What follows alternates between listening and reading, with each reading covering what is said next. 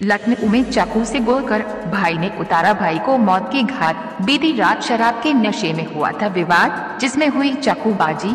छोटे भाई ने बड़े भाई की गर्दन, सीना और पेट पर चाकू से किए कई बार सुनील कुमार की हत्या करने के बाद छोटा भाई संदीप हुआ फरार। पुलिस ने शव को पीएम के लिए भेज आरोपी की गिरफ्तारी का कर रही प्रयास। गाजीपुर थाना क्षेत्र स्थित गाजीपुर गाँव की घटना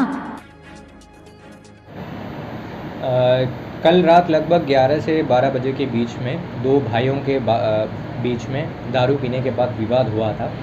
विवाद जैसे बढ़ते गया, एक भाई ने दूसरा भाई को चाकू मारा है।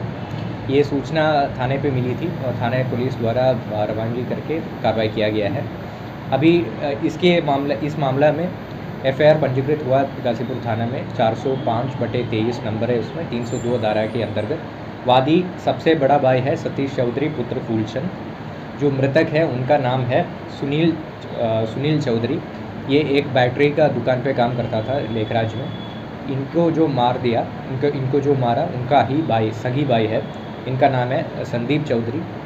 इनको अ, इनको पुलिस द्वारा हिरासत में लेके पूछताछ किया जा रहा है। अ, सर जिस तरीके घटना हुई चाकू से जिस तरह वार किया गया उस वार को देख करके ये लग रहा है कि ये लड़ाई नहीं एक रंजिश थी। उसको लेकर के आपको अभी तक मिला, क्योंकि गर्दन, पेट, पसीने पे वार है। अब जैसे आपने नोटिस किया, ये बहुत खतरनाक तरीके से उनको मारा गया कि फिर अभी तक जो प्रिलिमिनरी इन्वेस्टिगेशन है, इसमें से हम लोगों को पता चला है कि अक्सर ये भाइयों में झगड़ा करता था, ये दोनों साथ में रहता था और साथ में खाना बनाता था।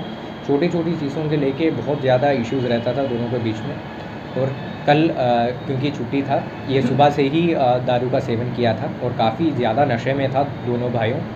और उसी नशा के दौरान जब उसी कुछ चीज़ों के लेके विवाद झगड़ा हो गया तो उसी में ही चाकू से ज़्यादा वारदात किया गया है। इसमें एफआईआर किसके द्वारा कराई गई? परिजन कौन है घर में? केवल दो ही लोग रहते थे। इनके परिवार में ये तीन भाई है। सबसे बड़ा भाई सतीश चौधरी जो भी उनके साथी रहता है उन्हीं के द्वारा मुकदमा का एप्लीकेशन दिया है और उन्हीं से दर्ज किया गया है। ठीक ठीक थैंक यू।